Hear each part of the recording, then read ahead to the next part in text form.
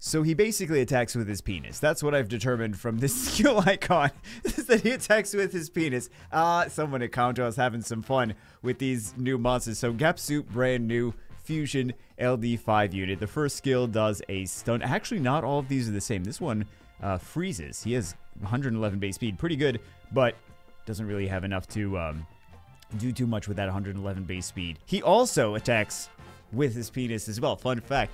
Uh, uh, this skill is kind of like Wusa. He does pure damage with uh, skill 2. And then this one will keep increasing the attack bar when the opponents heal. At least people are using him. Oh, okay. So he's going to counter the Verti-heal. You know that's staying in.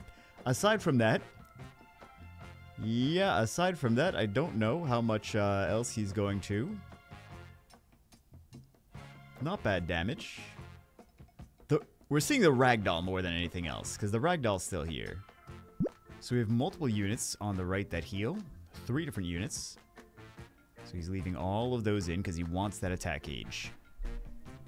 Let's see. So that was not a heal skill. They just went for the immunity. I was just waiting for Perna to proc and then have all of that. Uh, okay, look at that. He's got more attack age, more attack age. He get so he gets the attack age. It's not that he does a crazy amount when he takes his turns, though. It'd be cool if he did more when he took his turns. Okay, increase attack bar. But I suppose, let's actually take a look at that attack bar. I suppose if he if he did more, he would be too OP because then he would steal so many turns. So he's doing a good job at stealing turns. I will give him that. Look at all that uh, attack gauge increase. Attack gauge increase. Some of the units that uh, are on the opponent's side. Yeah, he's stealing a decent amount of uh, attack gauge. Stealing a decent amount of turns. But then after that, then what? He's got a little bit of pure damage. This is a tricky situation though, because if they make look at all that attack gauge. He he would be very OP if he did more. He'd be very OP if he did more. So they, they can't they have to be very, very careful buffing this unit. I I think that they did a I think this is actually a good thing for the meta is things that cut in. But that's a lot of attack gauge. But he doesn't do a crazy amount of stuff. Like, the, the match is just going. It's going, it's going, it's going, it's going. But the problem is, he doesn't do... He doesn't do a crazy amount of damage, so whatever damage he does, since the opponent's team is always going to be healing, because that's why you bring him in, they can just heal all the damage that he does back. So I think he needs to be in a destroy situation of some sort. We're seeing we're seeing how strong he could be against multiple healers, but we're also seeing how there's an issue, right? But man, if if they gave him like a little buff, he could be he could be very very OP. So this is definitely a unit that we got to keep our eyes on in balance patches. And I, I can't imagine they they've got to know they've got to be smart enough to know that if they give him any little buff, he could wreck. Why would you pick this first? This is a counter unit. The opponent could just pick no heals and be fine. I'm not sure what the strategy is. Maybe just have fun, I guess. So, so if I wanted to play with Gapsoo in every match, what I would try to do is bait out heals on the opponent's side, and then pick Gapsoo at the end. So let's see, but I don't I don't know how much that Gapsoo's gonna do.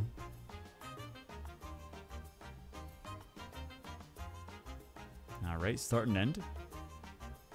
I mean, maybe maybe we'll see some crazy, but I, I honestly, I, I don't expect anything crazy.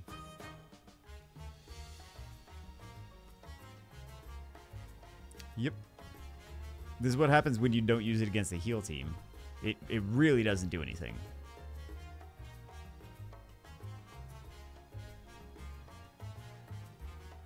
It's just like they they let the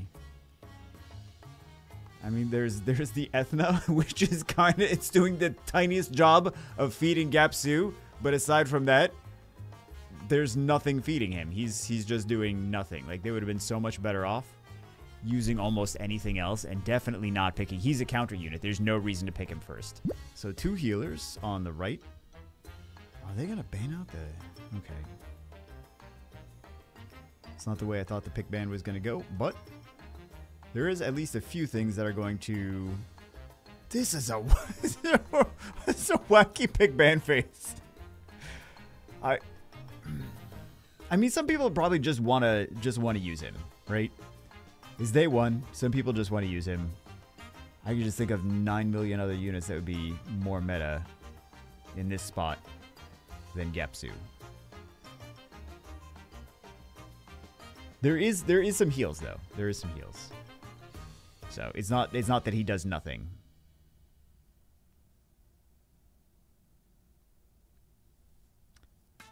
Yeah, it's just he, he he doesn't really do enough here to. There we go. There we go. Some heals.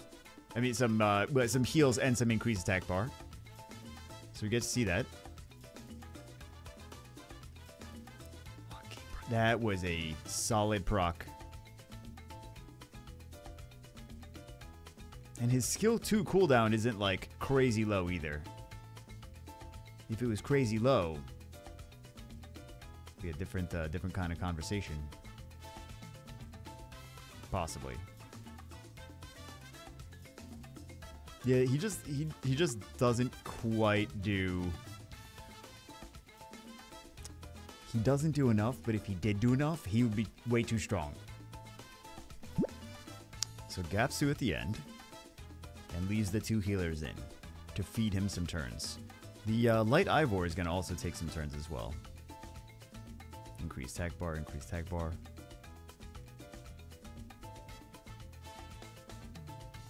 I, I, I don't know that it's going to be enough, though. He's in a dangerous spot. That's the thing. I can't, like, he's not crazy strong. I'm just going to sound like a broken record as usual. He's not crazy strong, but if they did, if they did actually buff the other skills, where he did some more nasty stuff when he cut in, he could be game changing. He could be way too ridiculous.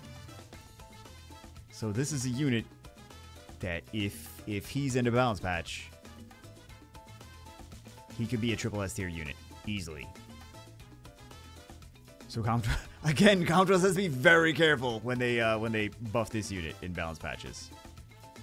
As Com2uS's like, yeah, that's why we're not gonna put him in any balance patches. Sneaky. Increase tag bar, increase tag bar. Two healers picked on the right hand side. Gapsoo already picked into the two healers. They have a third healer now, which I'm sure none of those healers are going to get banned. Does the Ethna get? Yeah, the Ethna, the Ethna gets banned, and they're not going to ban the Gapsoo because he doesn't do enough to warrant a ban. So let's see. Wow, that monkey took a lot of damage. So he's going to cut in a second. Well, he's not going to cut just yet. Okay. Monkey's dead. But here's here's the situation. So you have to pick him against healer. I've already reiterated this a million times in the video, I'm sure. I don't know which clips I'm including, which clips I'm not. But the situation is you have to pick him as a counter to multiple healers on the opponent's side. However, any damage that he does is just going to get healed back up the next time they move, right? Because there's multiple healers and he doesn't do enough damage to actually take things out. So I think the key is going to be either to CC, but the Antares kind of does that. Antares does that, Amduat does that. They do the interrupt and CC. If we're going to see anyone do anything amazing with him, it's probably going to be right here. There is, well, there are some heals. He's going to get carried. He's going to get carried by everything else. Tell me he's not, because I know he is. Okay. Simple solution, and he misses. But you know that's uh that's Summoner's War. So Gapsoo didn't really do a crazy amount right here. Let's see. Although we, we do get to see both of them. So the uh, the dark one and the water one, both of the uh, the, brand, the brand new Dokkaebi lords that attack with their. well, yeah. See that one?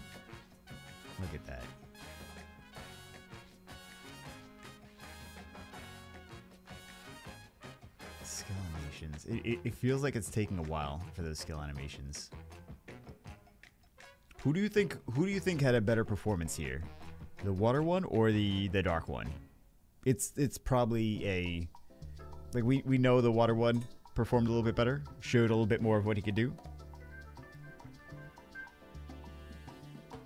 We also got to see the uh, LD5s, the the other LD units do uh, do what they can do. Of all of the units here, he's he's the one doing the least. He, he, he was the one that contributed the least to the team. Final verdict, this is a unit that could be insanely OP in a balance patch depending on what they do with him. As long as they keep this increase your attack bar whenever the enemy recovers the HP, that's not the issue. The issue is that when he, the issue is this skill is just very creepy.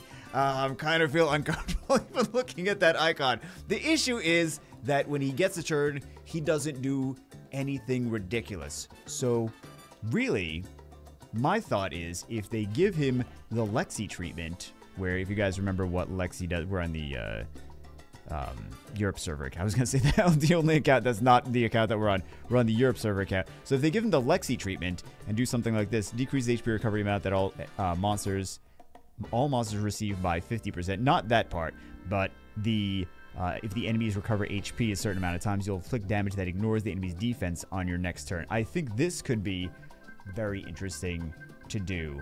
His he already does pure damage, but I think having some kind of big snipe mechanic or maybe even destroy HP could be the direction that they could go with that to make him actually pretty strong because I think it's this is a unit that like if they tweak him just a little bit they could break him and make him super OP. So anyway, that's it for this one. Let me know what you think in the comments below. I will see you as always in the next one.